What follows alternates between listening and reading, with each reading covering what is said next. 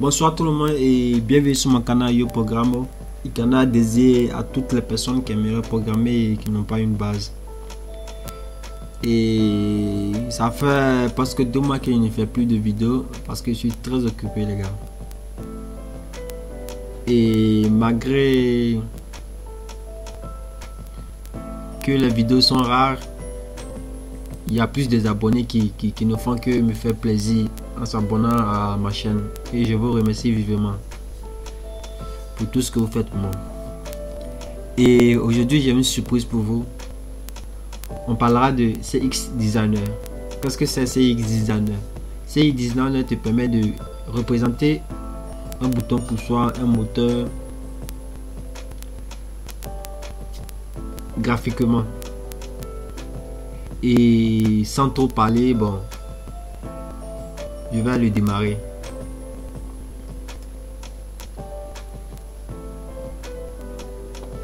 Salut qui est là. Il va, j'avais ouvert non? Donc euh, je vais redémarrer.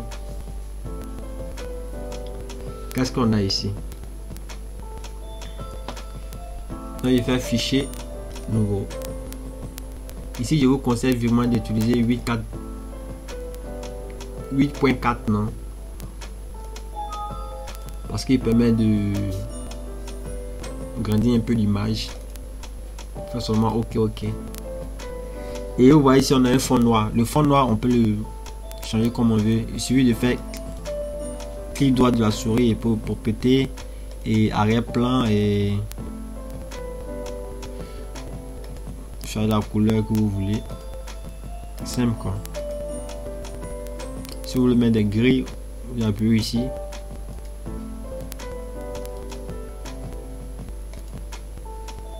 Choisir la couleur du gris.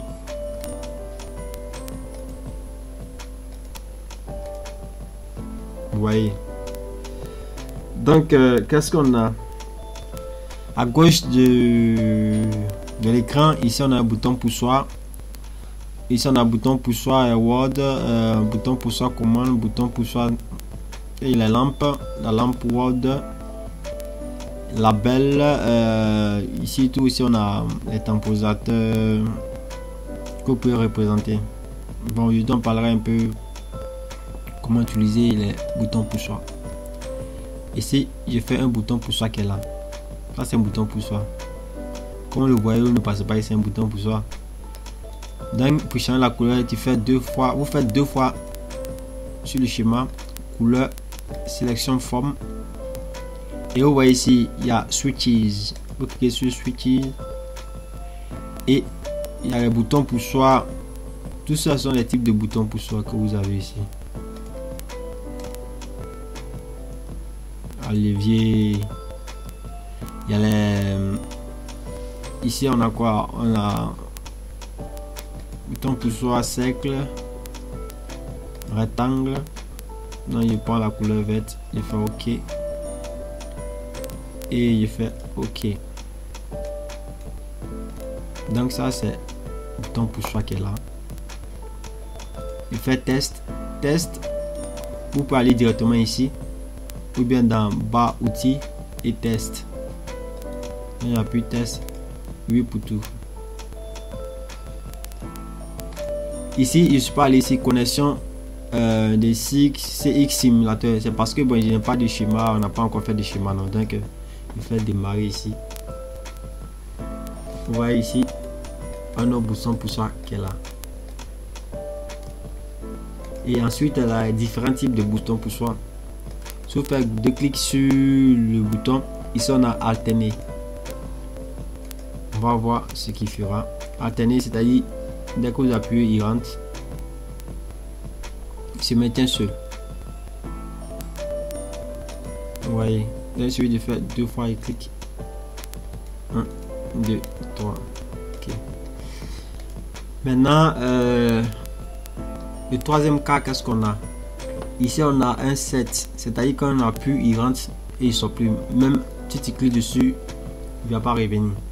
Parce que c'est un bouton pour soi 7 et pour le resetter pour qu'il ressort on a besoin de créer un deuxième bouton pour, pour qu'il ressorte. Vous voyez, s'il appuie dessus, il peut plus ressortir.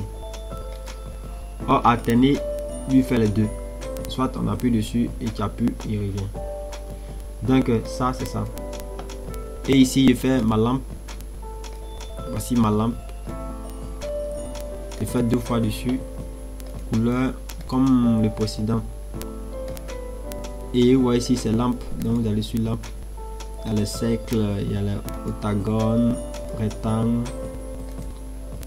Donc, euh, il prend les cercles. Prenez les, lampes que vous voulez. Ici, il est où? C'est-à-dire activé. Vous voyez ici, on a mis off, c'est-à-dire il est n'est pas, il n'est pas alimenté, non. Donc, si on veut faire le représenter,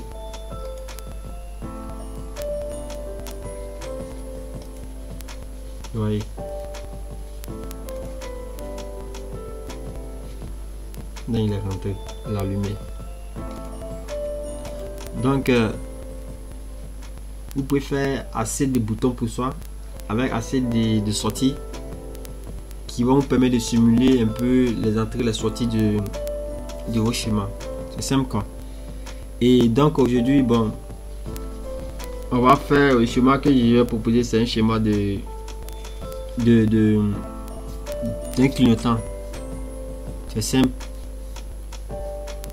Bon, on aura deux méthodes de, de, représenter le schéma sur X programmeur. La première méthode, c'est d'utiliser deux temporisateurs. Et la deuxième méthode, c'est-à-dire dans, dans, la nouvelle version de CX programme, ils ont introduit bon, un, temporisateur à un temps. Et on fera la première d'abord. Et ensuite, on fera le deuxième. Là, je ouvre mon CX programmeur. Ah, je l'ai déjà ouvert, c'est parce pour, pour ne pas perdre le temps. Non? Donc ici, je mets euh, 2 je mets S2 euh, S2 et puis bon je mets un comptant normalement fermé. Je mets un ici. S1 je mets ma bobine. Qui est 100 Q0 et je mets euh, un auto retenu Ensuite, qu'est-ce que je fais? Je mets ici, je mets euh, un contact du Q0. Je mets un deuxième contact du temporisateur T2. Et je mets euh, la bobine du temporisateur. Je mets un team je mets team 1. Je mets 5 secondes. 5 secondes. Ensuite, euh, je fais la même chose ici. Je mets un team aussi, team 1. Je mets T1 je mets la bobine du, temporisateur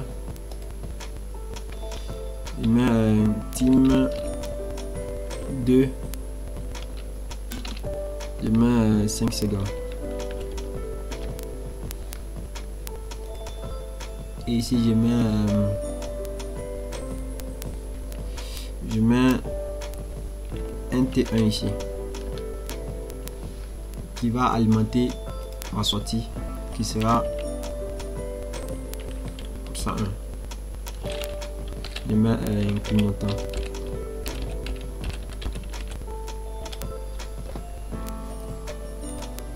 donc euh, on a fini le schéma maintenant qu'est-ce qu'on doit faire? On doit aller représenter le schéma ici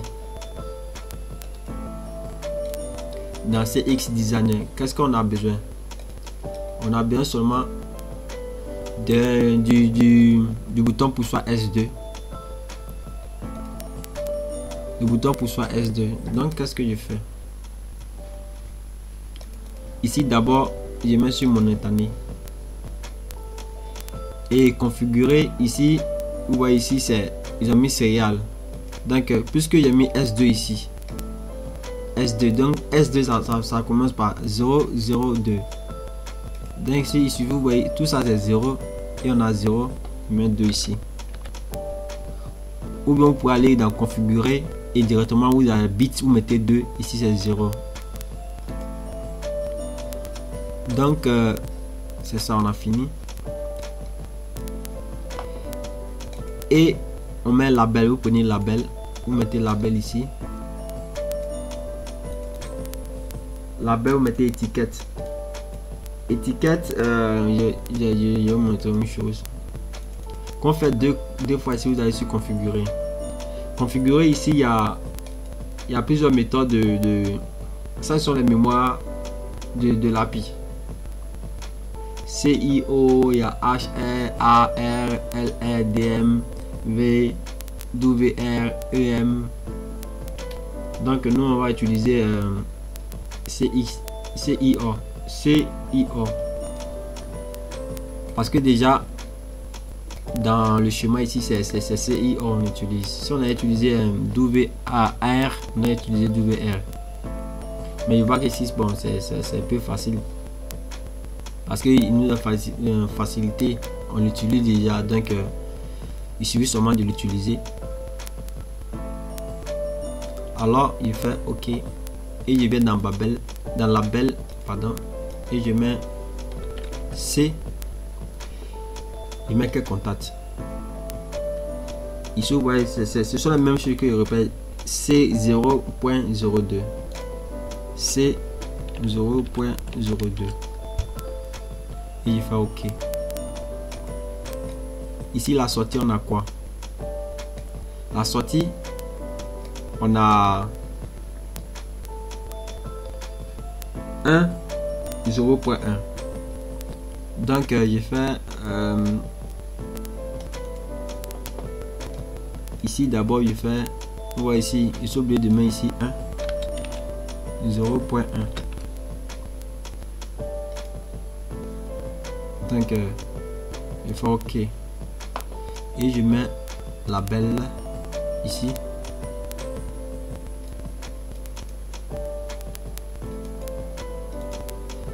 étiquette et met la même chose je mets c 1.01 et je dois le simuler maintenant on va essayer le chemin et faites très attention. Vous voyez ici le simulateur. Ne, le démarrez pas, ne l'activez pas d'abord.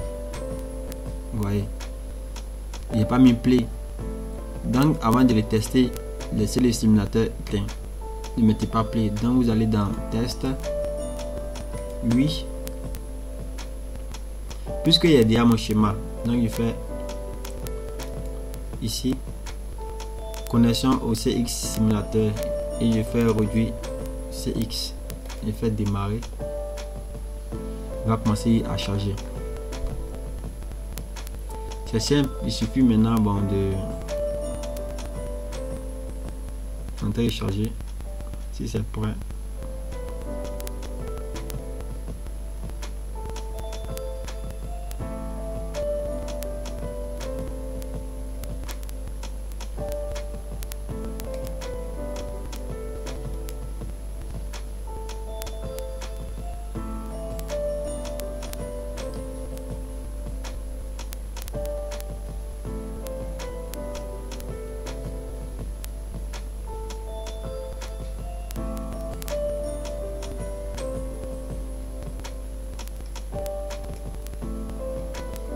pourquoi il ne sort pas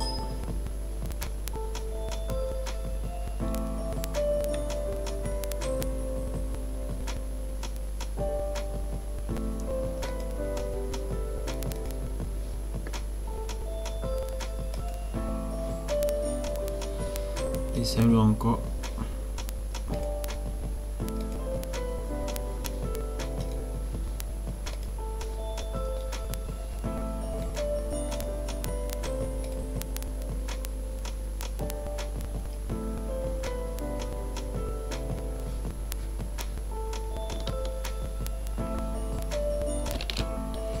Donc on fera euh, un autre bouton pour soit arrêt qui sera S1. Donc on met ici euh,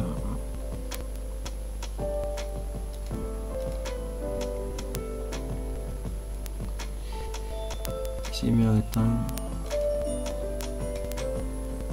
Ok. Ensuite met la belle.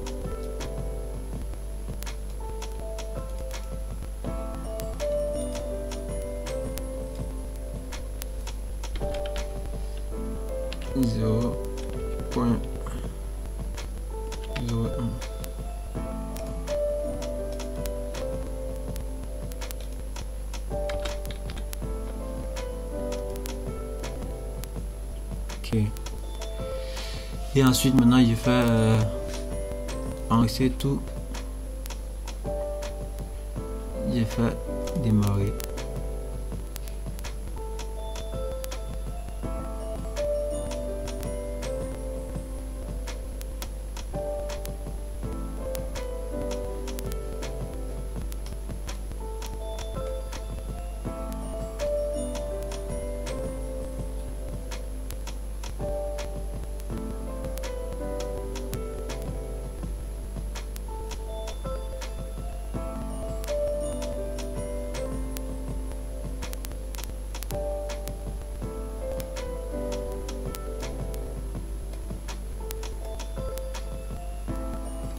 On a deux boutons pour soi. Je vais les tester pour voir si ça marche.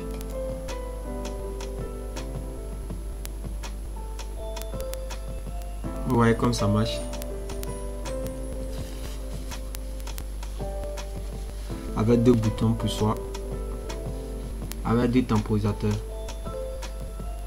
Si je vais arrêter, celui d'appuyer sur S1. Ouais, c'est un peu réaliste, réaliste, non? Appuie sur S2. Pas.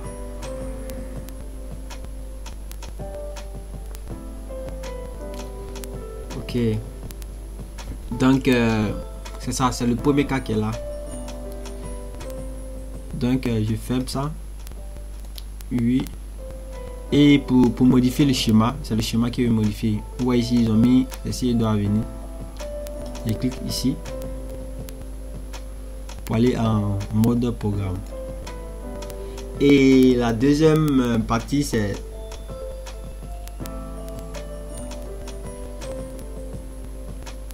on utilisera un programme que j'ai déjà inséré dans, dans CX Programme. C'est-à-dire un contact temporisé. temporisé. Et donc, qu'est-ce qu'on fera? Donc, euh, je vais, euh, je vais mettre un contact ici.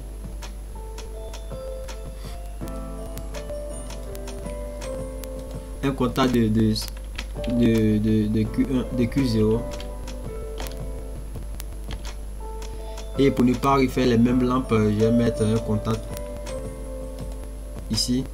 Et vous voyez, où, comme vous, vous allez sur nouveau, vous un nouveau contact. Où est la flèche qui est là, Vous cliquez dessus. Ici, on a les temporisateurs qui sont là. On a un temporisateur de 1 minute, de 0,02 secondes, de, 0,02 secondes. On a les mini secondes. Donc, euh, je prends 2 secondes. Il faut OK. Et je viens là. Donc euh, j'ai pris la même lampe en modifiant seulement le chemin. Donc pour ne pas que qui gêne, euh, pour ne pas que encore si deux, les deux temporisateurs s'activent, il me suffit de mettre un contact euh, au milieu ici. C'est pas que j'ai bon, il met bon un 3 S3 comme ça bon. Je l'ai mis parce que pour ne pas que les, deux contacteurs vont s'activer, je veux que seulement ce bloc que je viens de faire s'active. Donc euh, S3 étant ouvert, euh, c'est vrai que Q0 a fermé ici, mais ici étant ouvert, il peut pas alimenter la bobine du temporisateur. Donc il va fermer ici et lui va commencer à compter. Donc euh, on refait la même chose. Je fais un test démarrer.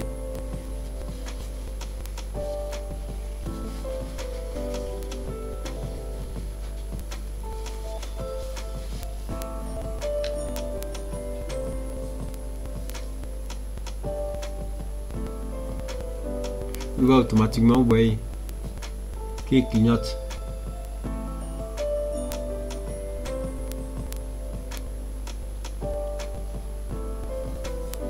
Donc, euh,